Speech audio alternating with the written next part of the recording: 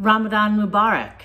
I'm Jill Savitt, the CEO of the National Center for Civil and Human Rights, and I'm delighted to offer a happy Ramadan to Georgia's Muslim community. I know this is a time when Muslim families celebrate their faith and renew their sense of purpose. We are so grateful for the many works of kindness and charity that mosques and Muslim organizations in Georgia take on for those who are suffering. Thank you for all you do. I send you my best wishes for a meaningful holiday as you reflect and pray.